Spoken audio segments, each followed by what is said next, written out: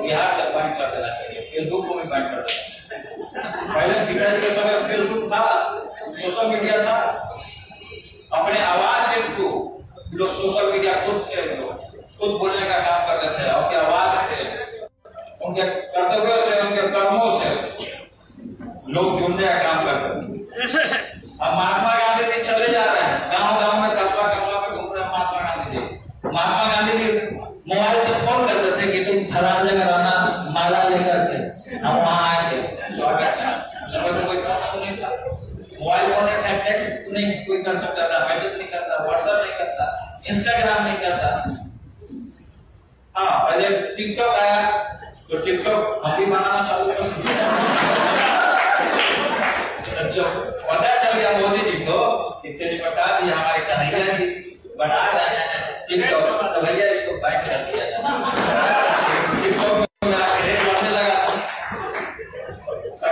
देखा होगा आज के नौजवान का।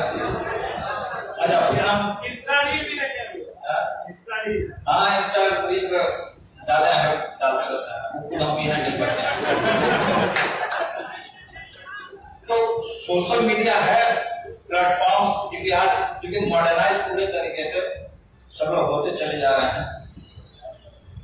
और बहुत सारे लोग हैं हमारे पिता का माता का तुलसी जी का हमारा फ़ोटो लगा करके यहाँ सोशल मीडिया पे दुरुपयोग करने का काम करते हैं मैं नाम नहीं ले सकता हूँ उनका नहीं तो सब हाईलाइटेड हो जाएगा इस, इसलिए अब बहुत सारे लोग का ये ख्वाहिश होता है कि हम करोड़ों रुपया देंगे, हम फलना पैसा देंगे, हम चिल्ला देंगे, आप टिकट पा करके रखे तो ये सोच आपका गलत है ये गरीब जनता का पार्टी राष्ट्रीय जनता दल जो है, गरीब जनता का पार्टी है। यहाँ करोड़ों रुपया नहीं, यहाँ मान और सम्मान और प्रेम, यहाँ हम लोग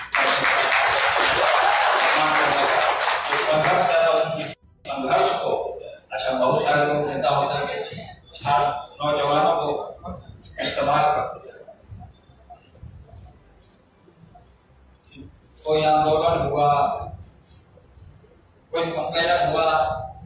छात्र नौजवान सब आंदोलन में खड़ा रहा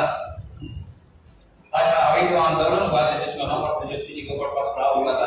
ने हेलमेट पहनने का काम किया ये बीएन कॉलेज का मेरा दोस्त है। हसनपुर का है हमारा पूरा क्लास फेलो है मेरा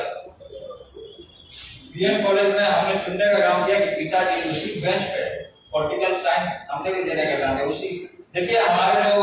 गुरु हैं राजनीतिक गुरु आदरणीय सिंगारू भट्टाचार्य जी को मैं मानता हूँ बहुत सारे लोग बोलते हैं कि आप उनके अंदाज में बोलते हैं अंदाज में क्या होता उन्हीं के पूर्ण